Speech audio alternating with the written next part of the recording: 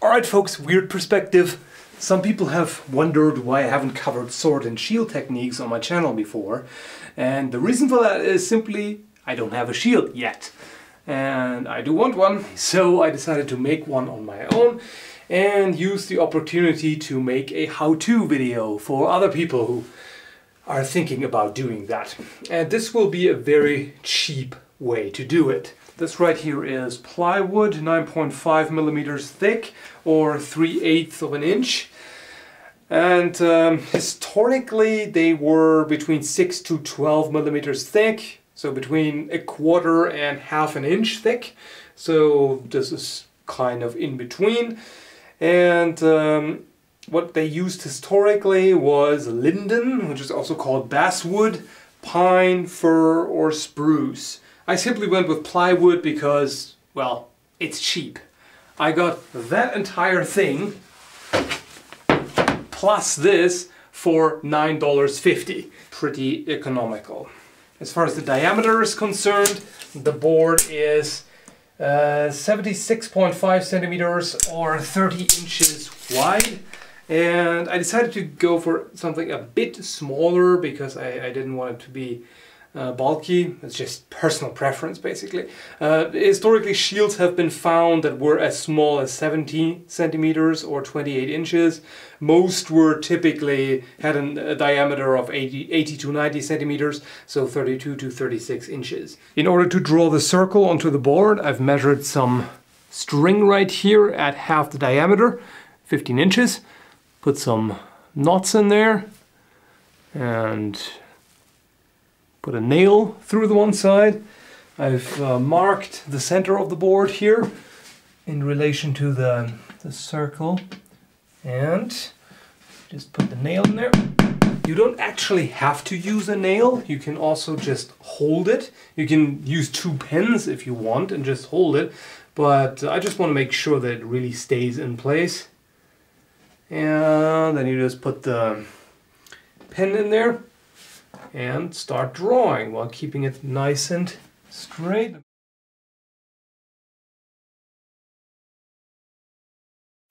Next I have to measure the center hole where the hand reaches in and for that it's good to take uh, gauntlets or gloves or whatever you you might wear to make sure that it fits even with those. You just take the measurement there and add just a little bit just for good measure if in doubt, just make it a bit larger, just in case. Okay, time to cut the shape. I sure won't do that with traditional tools.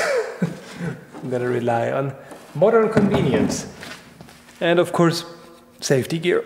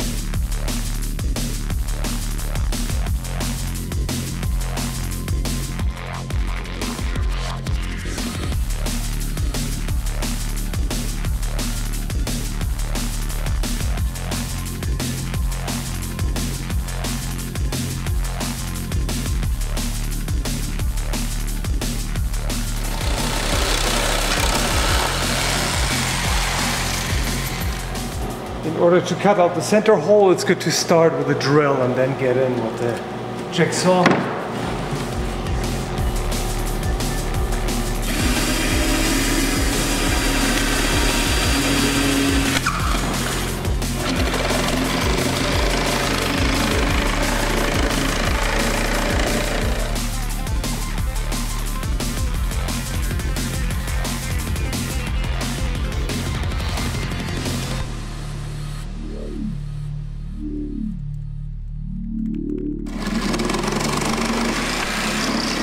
I also traced the center grip on another board and now I'm going to cut that out.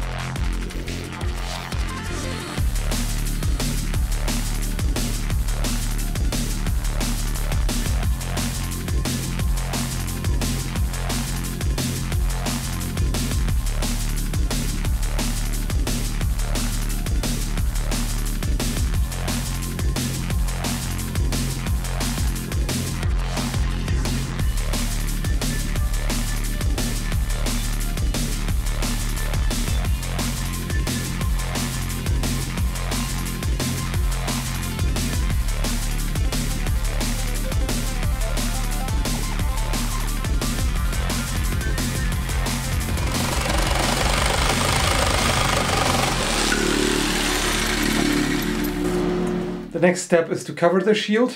You don't absolutely have to do that, but it really helps because by putting a layer of wood glue on there and then some kind of cloth, typically linen or canvas, it makes it a lot sturdier simply because it prevents the wood from splitting. And also I noticed that, like I already said, the wood quality is not amazing. And from the sawing here, I got some some damage here on the edges, so it's definitely a good idea to do that. Um, historically, you would use linen, but this right here is canvas. That works too, and canvas is fairly cheap and readily available, easier to find than linen. And uh, a lot of people just use kind of blank cloth, white or, or just kind of natural linen color, and then paint it. I'm too lazy for that. I'm just gonna go with this brown. Yeah, it's gonna be fine. It's just for training anyway. It's not for showing off, so that's gonna be fine. And we have a big ass canister of wood glue. That should definitely be enough. So the first step is to just spread it all over the place. Well, not all over the place, not in the room, but... Alright, this is gonna be messy. Mmm. I think we need a bit more than that. Yeah, but... You have to... Come on, give me the sticky stuff. Oh yeah, right in your face. Sure. anyway, before this gets out of hand...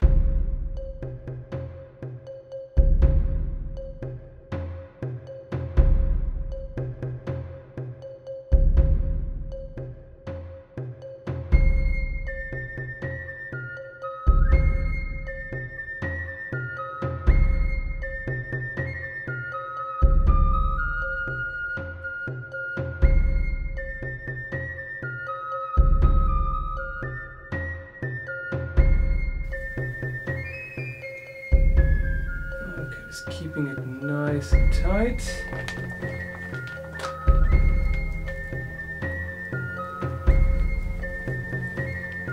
There. And now just smooth it out.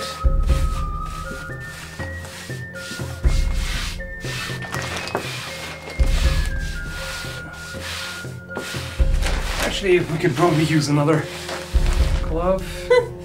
Yeah. The uh, wood glue comes through the layers, which is good. We want that.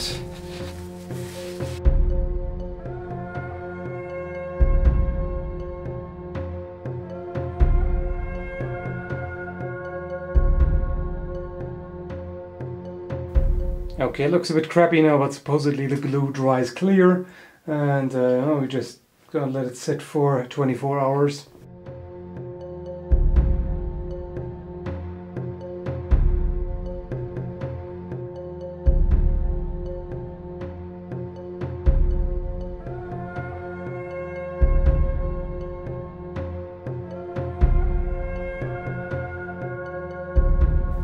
Okay, so I went ahead and put the handle onto the shield and also glued it in place with wood glue. Of course, you'll need a bit more to attach it securely. Uh, ideally with uh, iron nails, because that looks more appropriate, but they are more difficult to find, so just your regular ass nails from a hardware store should suffice. Ass nails, that doesn't sound pleasant, but um, I wouldn't advise just hammering them in as is because then you'll just split the wood, which is of course not what you want. So you should drill first. That should be the right size drill. It's a bit smaller than the nail. Let's just start right here.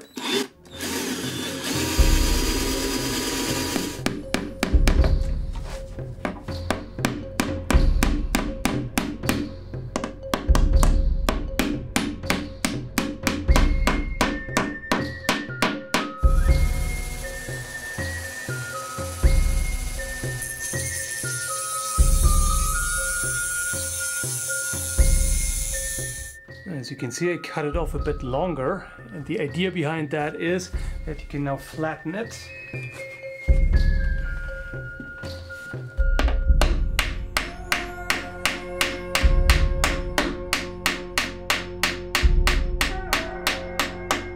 So this is basically like a poor man's rivet. Okay, so I did the rest with the remaining nails and now I can actually hold it, but of course the hand is still unprotected. I ordered a shield boss. Got this particular one from Relics. Uh, links will be in the video description like usual. And um, yeah, this is the easiest option. I doubt that many people would know how to make one of these themselves. Uh, if you do, feel free to, but otherwise there are plenty of manufacturers that offer these pretty cheap. You can get them for 15 $20. So I've already traced and drilled the holes and so basically the same thing again now. The next step is entirely optional but definitely helps to make the shield more durable. Reinforcing the rim with rawhide. That helps to give it some extra strength against the sword strikes to the rim. So the cheapest source of rawhide is one of these. Those dog chew toys. And uh, you just soak it in water overnight and then cut it into strips. While it's soaked, it's very flexible, as you can see, easy to work with. And then it hardens quite a bit as it dries. Uh, it also uh, contracts as it dries, so you need to make sure that you fix it in place and use clamps to make sure that it's flat against the wood on either side, otherwise it will curl up while drying. So all I did was to put on the rawhide, put a nail through and hammer it down on the other side.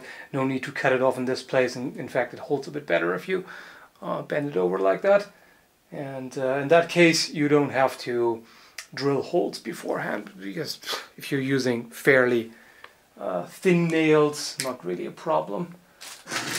If you have more clamps, you can do the entire shield at once, but I don't, so I'll have to go with this first and let it dry, take off the clamps and uh, do the next strip.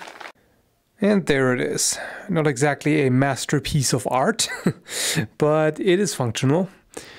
Uh, you could make it a lot cleaner by uh, taking care to make sure that the, the glue is all smooth before it dries because there are just some spots where, where we had excess glue which then dried. And you know it, looks a bit dirty but then again with practice it will anyway. And uh, I purposely left part of it uncovered in order to test it to test the difference between uh, rawhide covering and you know just the canvas cover and uh, by the way I decided to not use the nails after all to secure it in place. I, I know screws don't exactly look historically accurate, but then again, the nail heads didn't look either. They actually looked pretty out of place. Those, you know, at least they have the round shape of rivets. Basically, the only extra step was to cut off the bolts so that they are more or less flush with the nut. Whereas with the nails, well, at first I tried to just hammer them down, bend them over, but that didn't work too well because the nails were so thick. And uh, trying to do the uh, nail peening as before, that doesn't really work so well because of the shape of the boss. It's, it's difficult to get to them. But, you know, the way it is, it works. So now, let's try it out.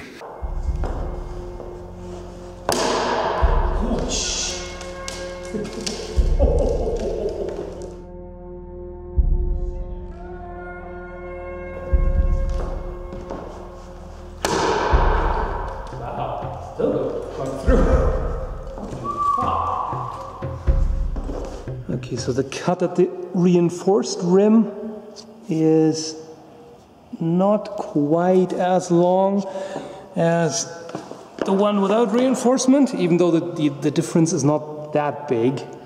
But the main difference that you see here is that it's splintered like crazy here. And that's what the reinforcement helps against.